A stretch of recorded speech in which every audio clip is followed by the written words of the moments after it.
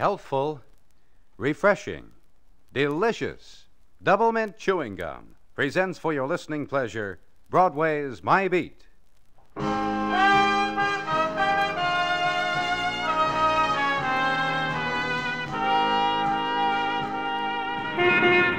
Broadway's My Beat, from Times Square to Columbus Circle, the gaudiest, the most violent, the lonesomest mile in the world. Broadway's My Beat, the thrilling drama of murder and mystery and the people who walk the Great White Way, with Larry Thor as Detective Danny Clover.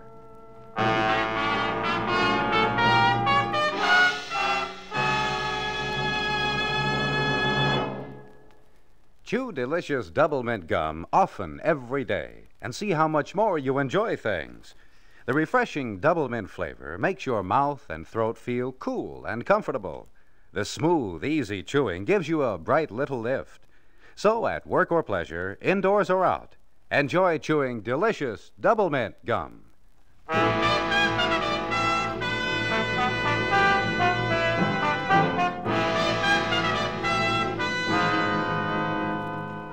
When shadows drift to the canyon streets and the beginning moon starts to ride, Broadway sends up its manufactured stars, giving notice that night is here.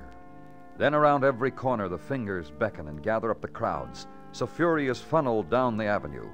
Each in his own way, make time stand still. That's the trick. Or make it dance, or softly sigh, or hug you close. Pick your dream.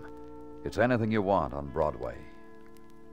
And east on 47th, gray granite area, sometimes devoted to gray granite enterprise, as for example Los Amigos Athletic Club, where I was, second floor. Locker room off the swimming pool, and the towel swathed and very concerned man. Is he hurt bad? I don't know, Mr. Anderson. They got him across the hall on one of the tables, and there's a doctor there with him. What made him That's not the question right now. The question is, why did you slug him and then run all around the building like you were. I, I got hysterical. I thought when I pushed him and he slipped and fell down and he didn't move, I'd killed him. So I ran around and told everybody, called for help, and got first aid. I, I guess I'm not very good in a pinch. Now, why did you slug him? Pushed him? Oh? Let's just get that straight, that's all. Okay, just tell me what happened.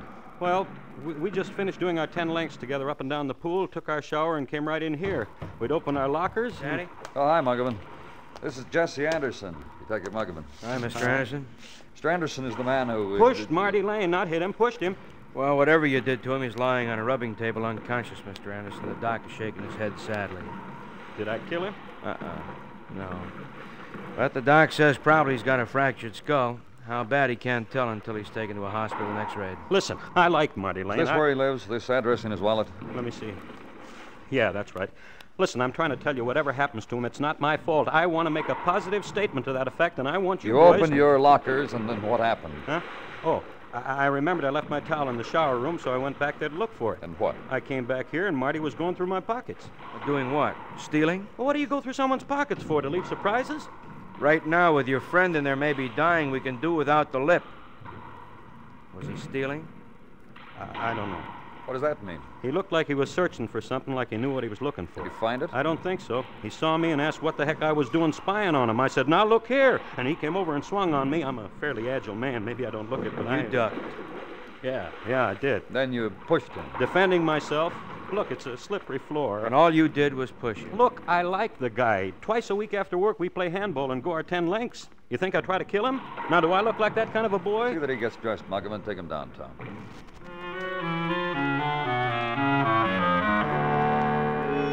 Leave there and out into the night street. Street that holds a dimly heard echo of Broadway three blocks away. Car ride now downtown. Mission to break the news to an injured man's wife. West 28th, the injured man's address found in his wallet. 1212. Brownstone converted into apartments. And the directory reads Mr. and Mrs. Martin Lane, 2C, on a handing card. Up the self service elevator and down a corridor of red and luminescent carpet and green wallpaper. Jungle foliage type decor. Apartment 2C is halfway down.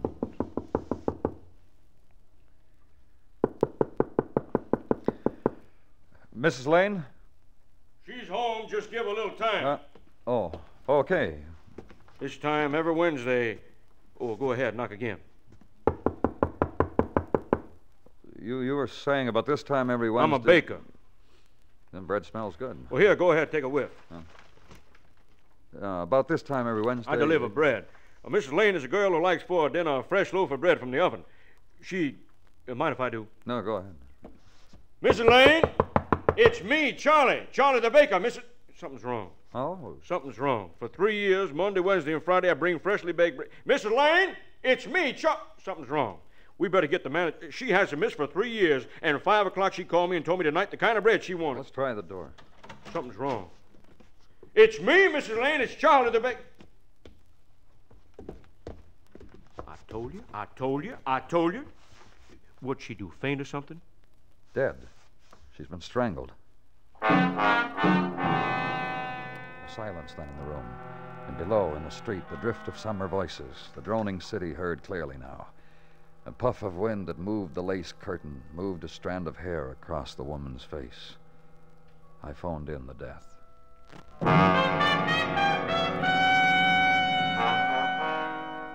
The next morning, positive identification was made from fingerprints checked out against a driver's license found in the woman's belongings.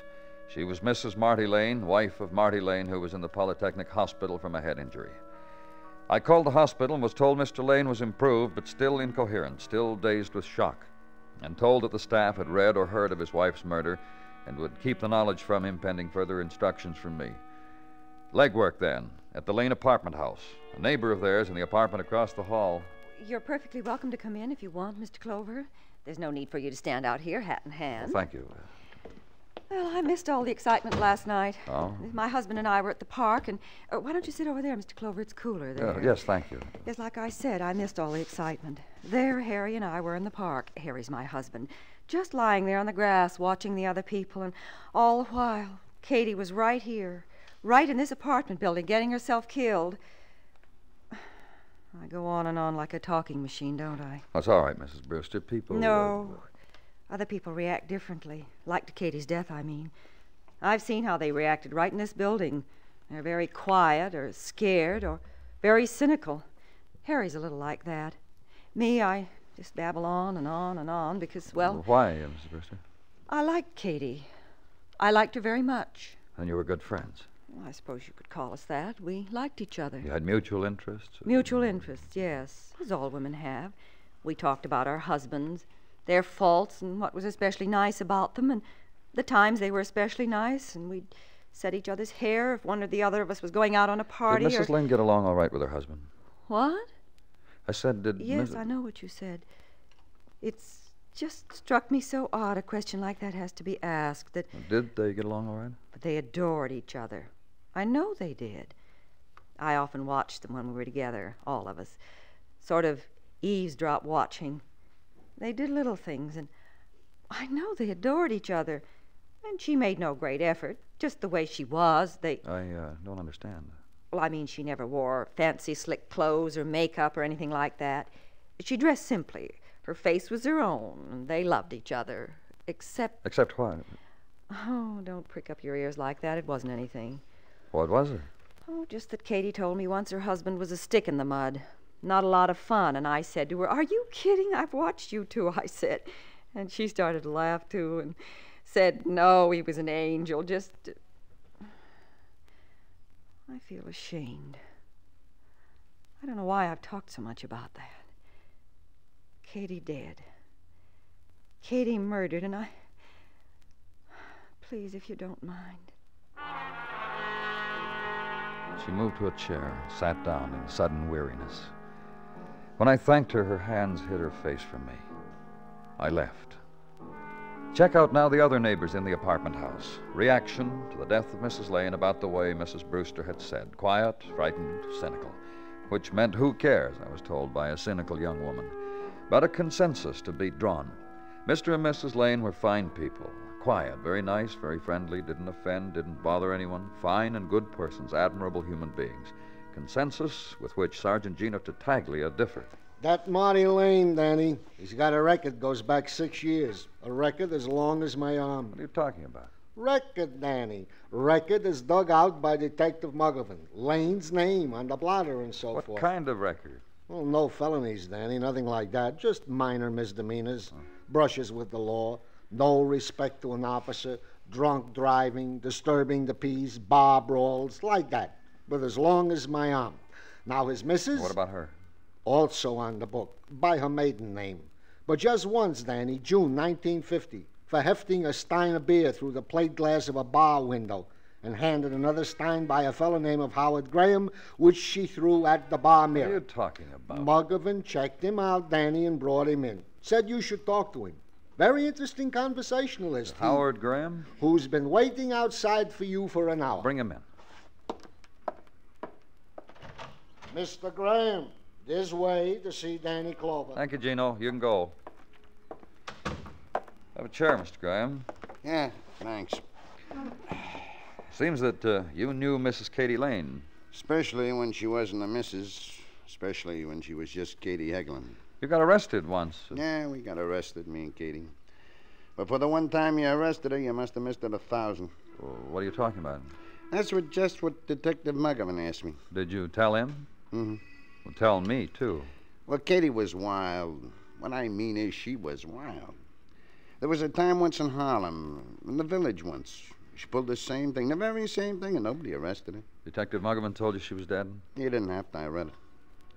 And I remembered Katie like she used to be with me. I told the detective Did you know her husband? Yeah, I knew him. Marty was more Katie's style than me. I couldn't keep up. So we took her away from me, married her. You ever see him afterwards? They invited me up a few times after. I got so I didn't go anymore, though. Why not? Oh, I don't know. They was changed. Not the same people. Couldn't have fun like the old times. What do you mean? Just that, no fun. They done something to each other. Katie was like another woman. Marty like another man. Why, I still They don't. were very good people. Angels. They had very good thoughts, Katie especially. One thing I know. What? Like I said, she changed. She thought good thoughts, though, so she's practically a cinch to make heaven? Yeah, sure. Sure she is. Katie's a cinch.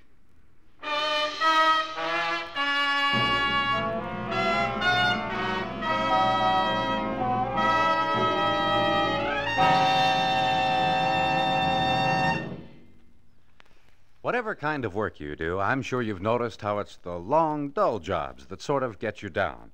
You get so bored with doing the same thing over and over. Well, next time that happens, find out what a lot of help it is to chew delicious double mint gum. You see, as soon as you sink your teeth into a stick of smooth double mint, you enjoy a feeling of real satisfaction, and you'll like the steady, natural rhythm of chewing. Delicious double mint is a long lasting treat, too. You can chew away for as long as you like, and you have something you enjoy doing while you go on with your work.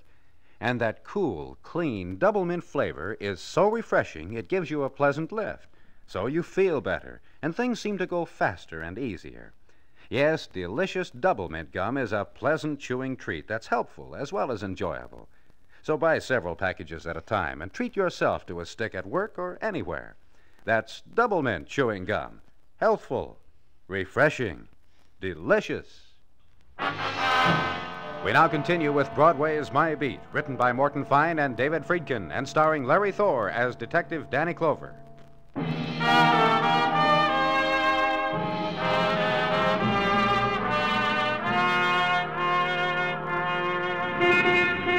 Late July, and the sun bursts over Broadway. The light is golden and blinding, and the heat white, searing. And still they walk it. Walk the avenues of the sun, the tourists, the gawkers, the conquerors, the sleepwalkers. For the hawkers of Broadway have summer gimmicks to sell, not to be had elsewhere. And the tipsters of Broadway, a winner to be whispered such as was never known. And the sentimentalists of Broadway, a poem never before heard, crooned softly into the ear. So think fast, make a choice. Summer is short. And at headquarters, early morning of July, the talk, heat weary against background of drone is spun by the electric fan. They'll bring Anderson right up, Danny. Drone is spun by Detective Muggavan. You got a thought on it, Danny? Well, Dr. Sinsky's report says Mrs. Lane was strangled at uh, approximately 5 in the evening, just after she called the baker. Uh-huh. When do we get to talk to her husband, Danny? I checked the hospital a little while ago. He's still in no shape. Be helpful if we could talk to him. Uh huh. Yes, Gino. Mr. Anderson, Danny. Officer Curcio just brought him up. Okay, bring him in. Sit down, Mr. Anderson. Look, how long are you people Till we gonna find out what happens to Mr. Lane from the push you gave him. You said it was a push. A couple other things. How is he? How's Marty? Not good, Mr. Anderson. We just got through asking a little while ago. Marty's not good. Uh, go on, sit down.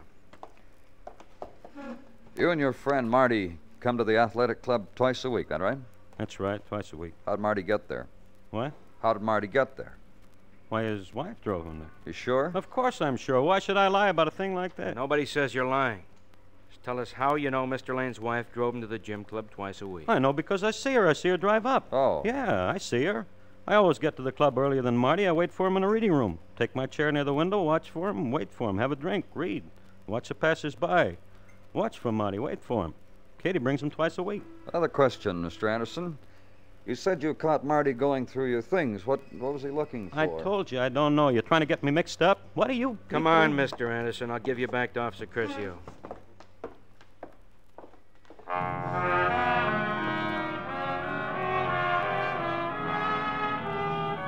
Which Muggavan did.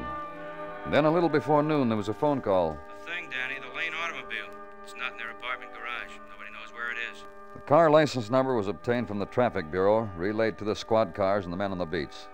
The Lane automobile was located in a parking lot near the Los Amigos Athletic Club, towed into the police garage.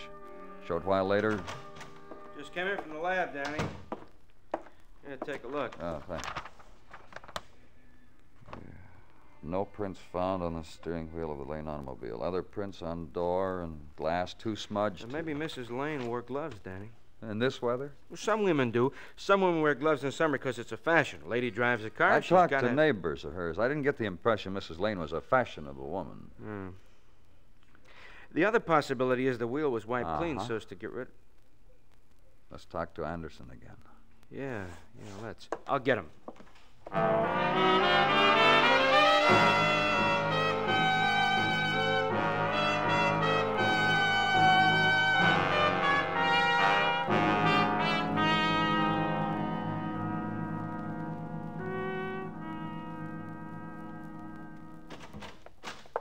Here, Mr. Anderson. Yeah, I'm beginning to know your little place like a book. Good.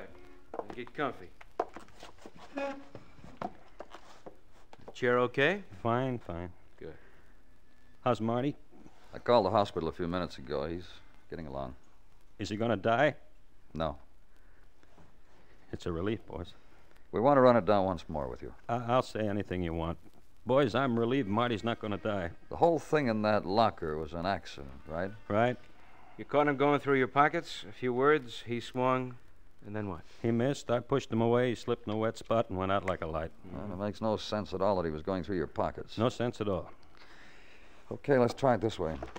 The stuff in this envelope is what we took from you when we brought you downtown, okay? Come on over here and look at it. Okay. Right? The wallet. Is he going after that? I, I doubt it. I saw him put it back before he caught me looking at him. Any money missing from it? Oh. A five dollar bill and two ones. That's what I had when I left the house. This uh, automatic pencil? Why should he steal a dollar pencil? These keys? This one's for my car. This is my house key. What do you want them for? Handkerchief? Uh-uh. This cigarette case? No. I, go back. Huh? To the handkerchief. Let me see it a minute. Okay.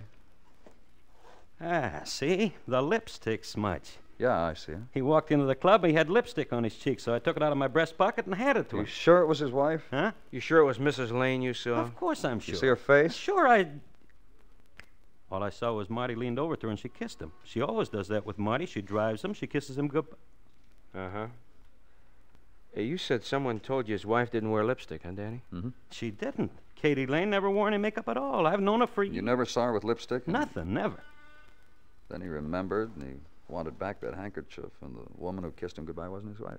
Hey, what's going on? Nothing you have to worry about, uh, Danny. Yeah, release him.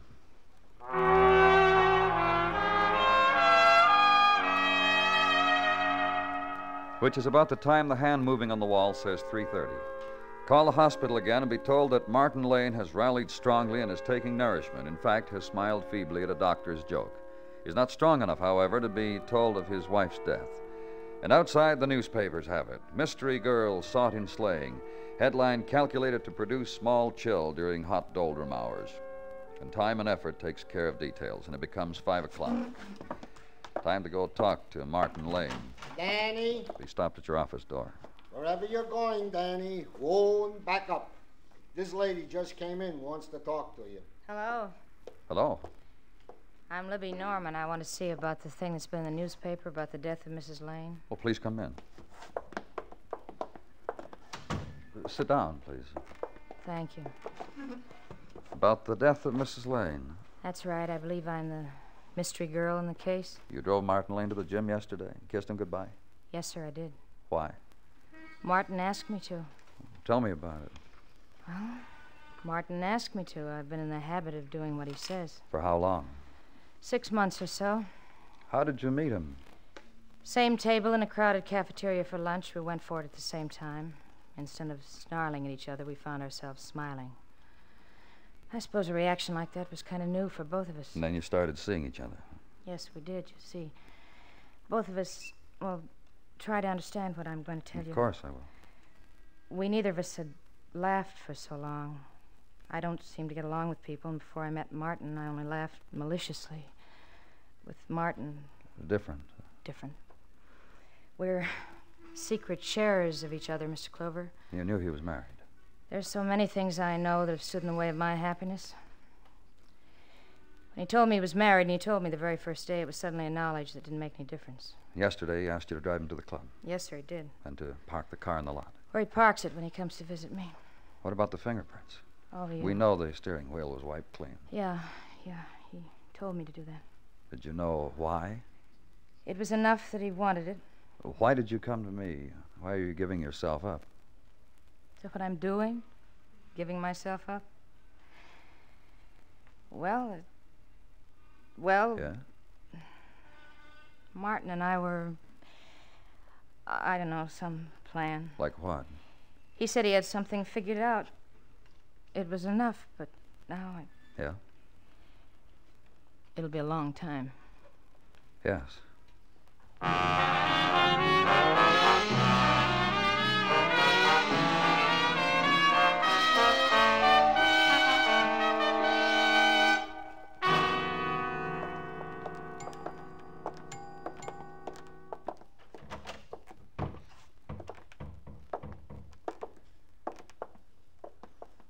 Mr. Lane. This is Detective Muggavan. Hi. How do you feel? Hmm? How do you feel?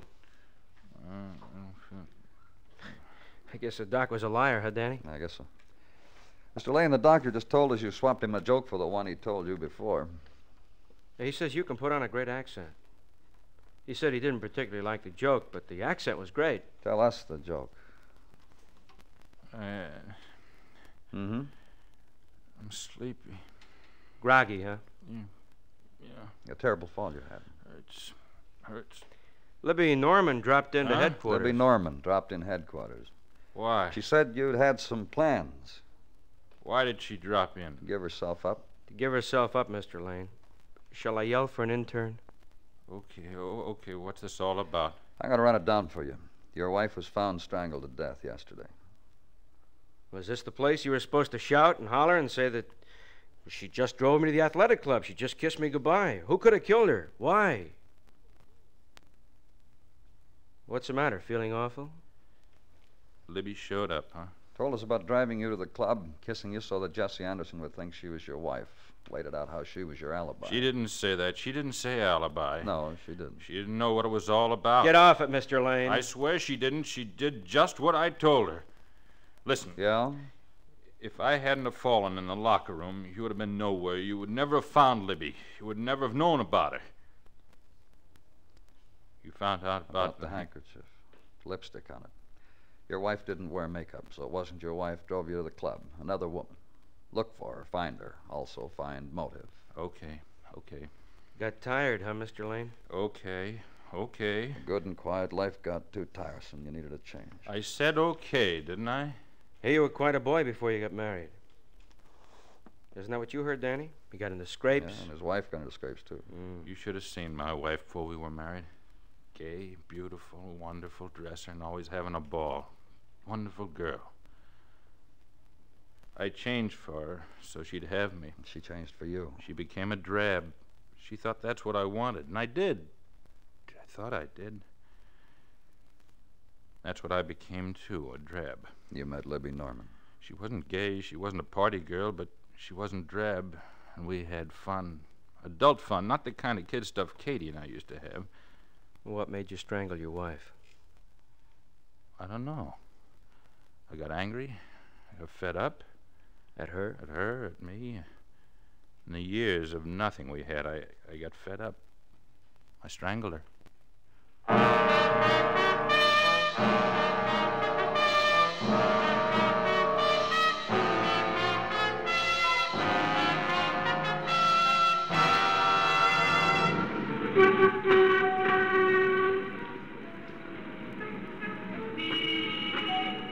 Evening lowers down over Broadway. The time is ending.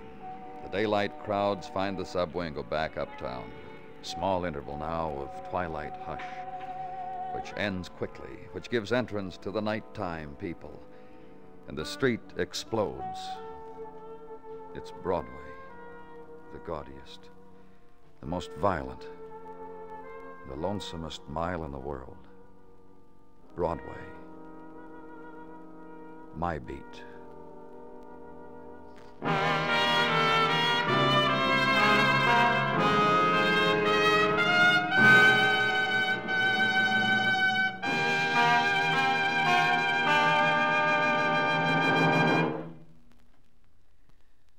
Refreshing double mint chewing gum is really two treats in one a satisfying, long lasting chewing treat and a delicious flavor treat. That's a pleasant combination for real enjoyment and for a good many welcome helps that mean a lot when you need them. For example, when you get hungry in between meals, chew a stick of double mint and you'll find it's easier to wait until mealtime.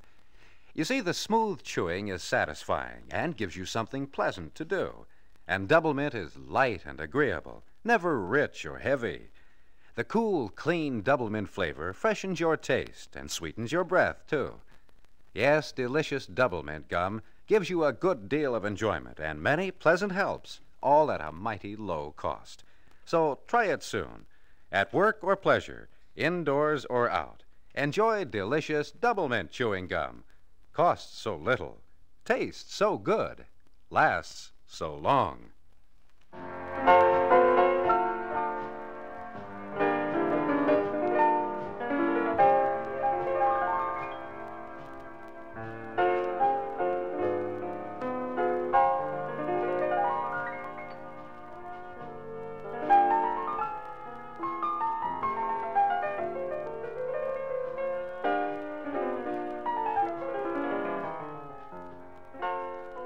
Makers of Double Mint Chewing Gum hope you enjoyed tonight's story and that you are enjoying delicious Double Mint Gum every day.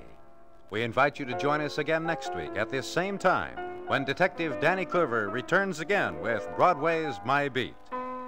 Broadway's My Beat, brought to you by Double Mint Chewing Gum, is produced and directed by Elliott Lewis, with music composed and conducted by Alexander Courage. The program is written by Morton Fine and David Friedkin and stars Larry Thor as Detective Danny Clover, with Charles Calvert as Tartaglia and Jack Kruschen as Muggavan. In tonight's story, Barney Phillips was heard as Marty and Lou Merrill as Jesse. Featured in the cast were Irene Tedrow, Cathy Lewis, and Ted DeCorsia. Bill Anders speaking.